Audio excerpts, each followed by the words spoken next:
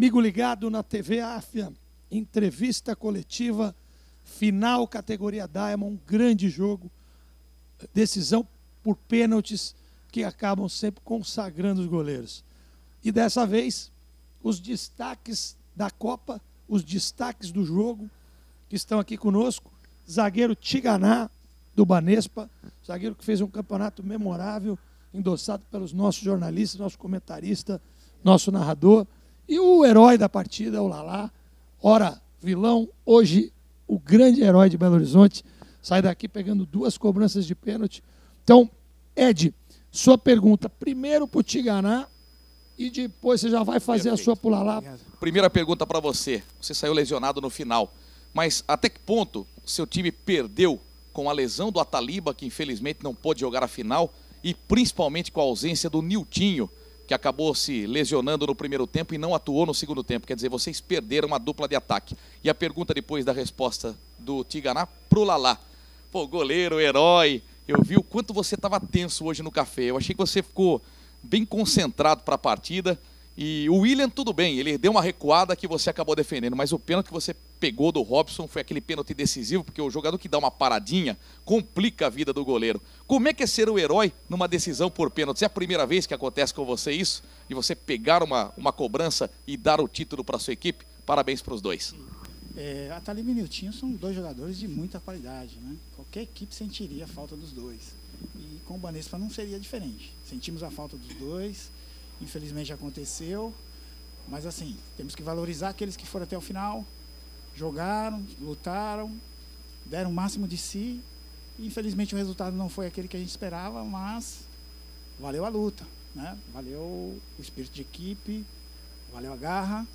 E, óbvio, a gente tem que parabenizar a BH porque realmente mereceram o título. Obrigado, Tiganá, pela sua elegância dentro e fora do campo. Querido Lalá, carinho que nós temos com você, você é um dos nossos expoentes. Responda a pergunta do nosso querido Ed Pimba. Ô, Rogério, eh, antes de qualquer coisa, eu gostaria de parabenizar você por ter tido essa ideia maravilhosa de criar essas Copas. É, eu acho que você percebe no semblante da gente, é, pessoal de 40, 50, 60 anos, que todos vibram como adolescente, como primeiro título, como primeira força na, na, carreira, eu percebo muito isso. E esse prazer que você tem dado às pessoas que já pararam com o profissional, mas continua com emoção, isso é muito importante. Parabéns, isso é bacana para nós. Respondendo à pergunta do Pimba, né, do Ed, é, obviamente, qualquer goleiro, o sonho dele é terminar um campeonato pegando pênalti, né, sendo campeão pegando pênalti.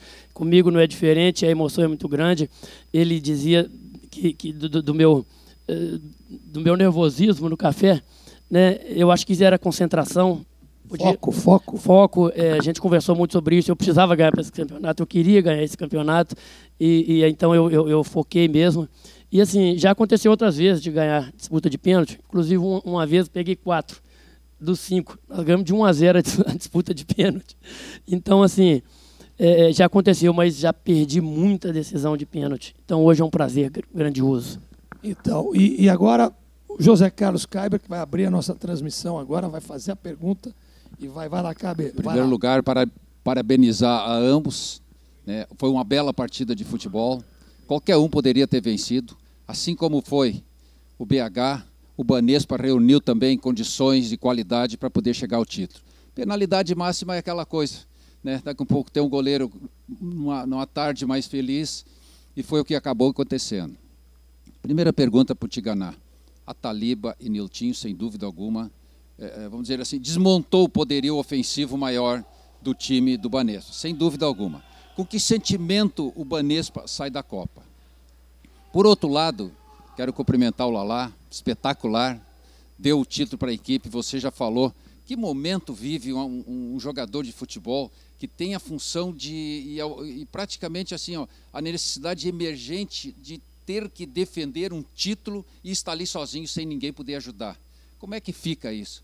E outra, chegou mais inteiro, mais com mais corpo, corpo físico, com mais presença dentro do campo, um time bem organizado com o Dalvan, um setor de meio de campo muitíssimo bem estruturado com o Gera, o, o Xbeia e o Pereira, e na frente Mirandinha como referência, um time muitíssimo organizado.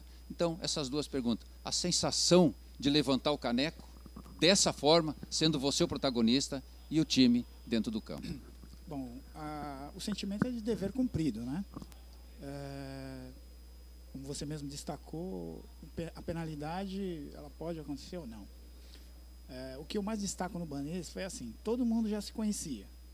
Então, a amizade nasceu de formas diferentes de um para um o outro, enfim. Mas o que eu destaco é, foi o que a gente construiu nesses dias juntos. Né? Uh, o fortalecimento dessa amizade de cada um, o abraço, o companheirismo, um correndo pelo outro. E chegamos aonde a gente chegou, com muito orgulho. Né? A Copa AFIA realmente é uma Copa espetacular, muito bem organizada. E você chegar onde a gente chegou é motivo de orgulho. Obrigado, Tiganá. Você uh, foi um grande jogador, jogou demais, encantou, encheu os olhos da nossa tribo e fico muito satisfeito com as suas palavras. Amigo Lalá, protagonista da Copa, como disse o Kaiber. Qual é a sensação? Você que sempre foi um coadjuvante numa constelação de estrelas. Pois é, o Kaiber, é, eu creio que se todo goleiro pudesse escolher, se tivesse a certeza que seria campeão, ele queria ser campeão na disputa de pênalti, né? Todo goleiro. Só que não podemos correr esse risco, então a gente fica tentando ganhar logo e, e, e partir para uma vitória mais simples. Né? Então, assim, a felicidade de um goleiro é muito grande. Quando ele cita, Rogério, a questão de estar sozinho, solitário, né? eu encaro isso de uma outra forma. Eu encaro assim, agora é minha vez, agora é minha hora e eu tenho que fazer o que eu me proponho a fazer. Né? Quando ele fala do time, né, da, da, da constelação do BH, realmente é um prazer enorme. Né? é, sem clichê, mas é um prazer enorme você estar tá jogando no meio de ex-profissionais, como Gera jogou na Espanha tanto tempo, o, o Carlinhos, o Sabiá, o Miranda, além de craques, né, como outros que você já citou aí do nosso time. É um prazer enorme e eu fico satisfeito de ter podido contribuir com essa constelação, não ter deixado uma constelação dessa ir embora para casa mais triste. Isso, valeu, Lala. Então agora minha rapidinha, pai bola. É, para você, meu querido Tiganá. Você, eh, vocês do Banespa são sempre um, um, um, esquadrão muito bem organizado, mas é uma referência dentro e fora do campo, um cracaço de bola, um exemplo como coordenador. Segunda vez que esbarra nos pênaltis. Riviera Maia chegou também para levar, acabou perdendo nos pênaltis. Essa frustração vai fazer com que vocês, aos 60 anos, treinem mais pênaltis? É, na verdade, a esperança é sempre decidir o jogo. Né? Nós tivemos realmente alguns problemas. O Hélio teve que sair mais cedo. No, infelizmente, ele perdeu o irmão. É um jogador que nos fez muita falta. É, aí teve o um problema com a Taliba. Depois uh, perdemos o, o Nilton no jogo de hoje. É, tivemos muitas dificuldades, mas eu, eu penso assim. Eu acho que as dificuldades têm que fortalecer o grupo, tem que fortalecer o time. E a gente tem que voltar muito mais forte para uma próxima Copa. E, óbvio, também se preparar melhor para os pênaltis também, que eles podem acontecer novamente. Valeu, Tiganá, te agradeço de coração. Foi uma, ótimo estar com você. Você deve, obviamente, os dois devem estar na seleção da Copa. Fizeram jus, por merecimento. E a gente está aqui só uh, fazendo jus e colocando para todo o público da AFIA aqueles que se destacaram numa final. E não é uma final qualquer, é uma final numa arena de Copa do Mundo.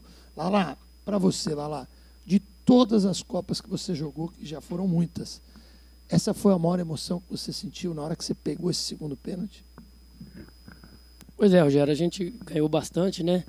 É, testemunha disso, mas eu perdi uma nos pênaltis. Não sei se você se lembra, os 50 de 2014 eu perdi nos pênaltis e, e, eu sei o que é a tristeza disso. Então, é, as que a gente ganha, a gente vem ganhando durante o jogo, né? Então, é, essa a gente ganhou no último segundo. Então, acho que essa é uma emoção maior. São até porque você protagonizou. Amigo querido da AFIA TV, a entrevista coletiva com a categoria Diamond fica por aqui. Nós voltamos depois com a categoria Silver. Grande abraço e fique com a gente.